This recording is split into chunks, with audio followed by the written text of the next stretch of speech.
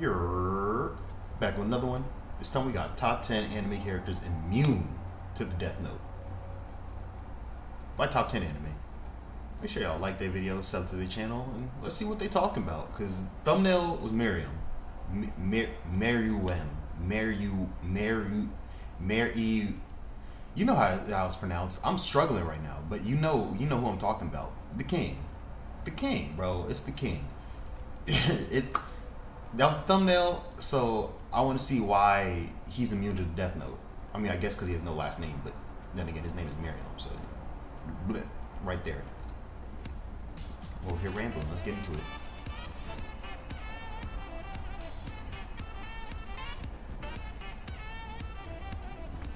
The Death Note is the most powerful killing tool in the world of anime.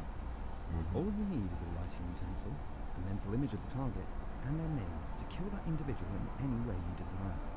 Even superhuman characters. Yes, I forgot some. Oh, uh, ooh, I'll be oh, right back. There are small Hey, keep me up to date. What what happens real quick? I, I, it's gonna be like two seconds. Hagakure. Her quirk Invisible girl. Yeah, you can't see her face. That makes. Yeah. terms of the Death Note, she's stronger than even All Might. One of the key requirements for the Death Note to work is having a mental image of the target's face. However, Invisible Girl's quirk is continuously active, meaning no one knows what her face looks like.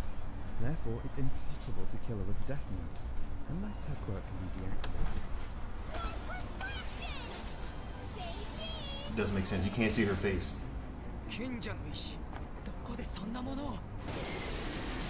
That's true, you can't see his face either, he's definitely just a suit of armor.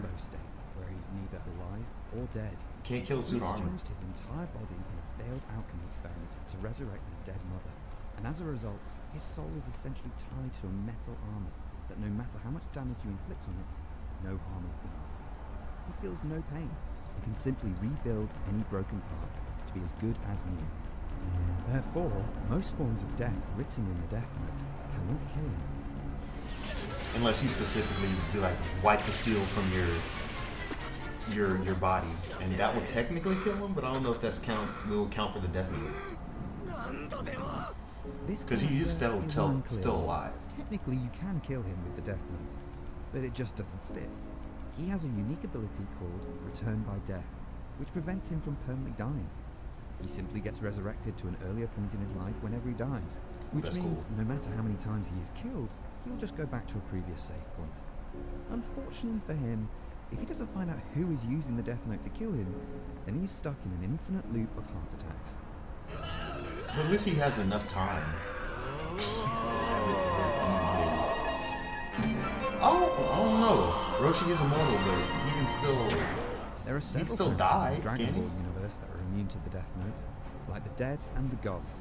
However, if we look at the mortals exclusively, then Master Roshi is one of the very few mortals that has Oh, become damn, well, Goku could die from Note. Death Note. Died about four the Death Note times. has a rule stating you cannot kill someone over the age of 124. And Roshi was over 300 years old at the start of the series, rendering the Death Note powerless against him.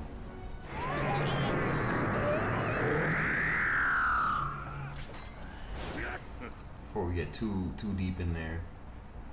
Too deep. Which what was this anime? 1959,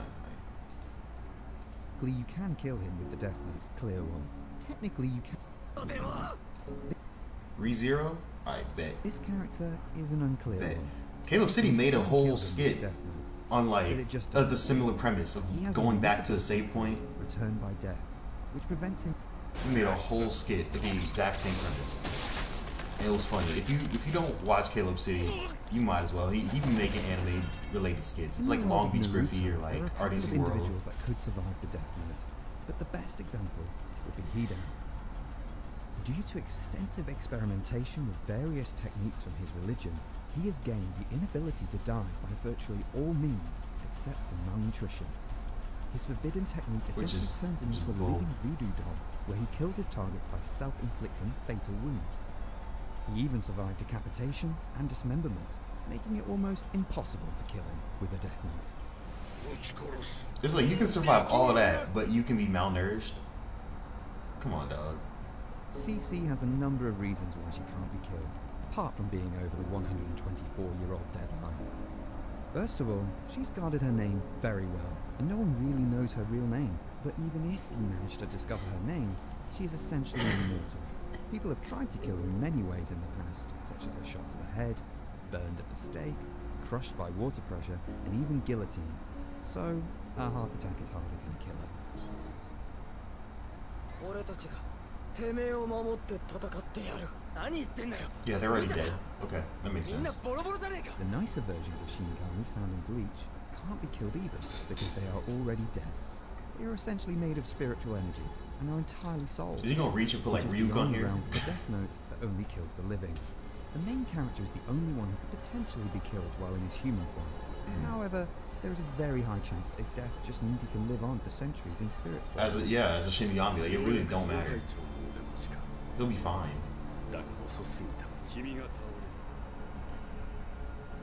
Oh my gosh, he really put Ryuk on here. I was joking.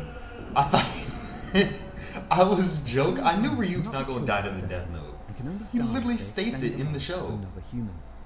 Assuming that the notebook even can kill a Shinigami, there are several safety measures in place to protect them.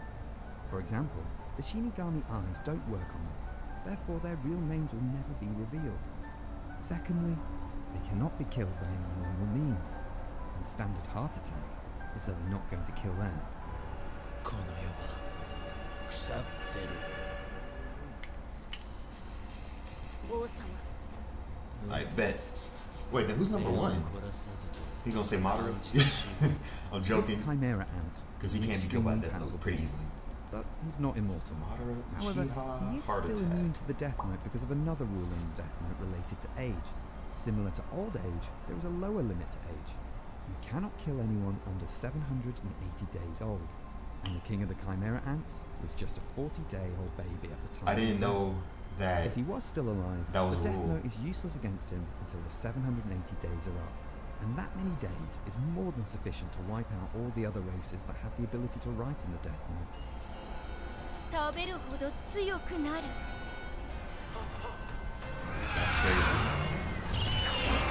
Alucard? Okay, that does make sense. He is a Alucard vampire. an overwhelmingly powerful vampire, and someone who would probably enjoy a heart attack. But unfortunately, it's not enough to kill him, as he is an immortal.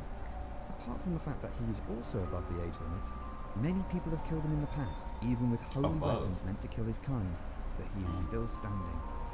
If you thought that was OP, it gets better. After he absorbs Schrodinger's power, he is just unstoppable. A power that requires him only to think to exist. How does one acquire that power? Like, what? You think to exist? I know Schrodinger's cat is a thing, but I don't remember what what that is. So I don't even remember what Schrodinger's power could be. Actually, I can just Google that right now, but I really don't feel like googling it right now. So actually, um, yeah, I hope you guys enjoy it because uh, I'm not googling that. If you you know if you know what Schrodinger's cat is, you can tell me. That's it's interesting. I'm just not you know willing to Google it right now. So yeah, hope you guys liked the video, liked it, comment, subscribe. I'm out. Peace.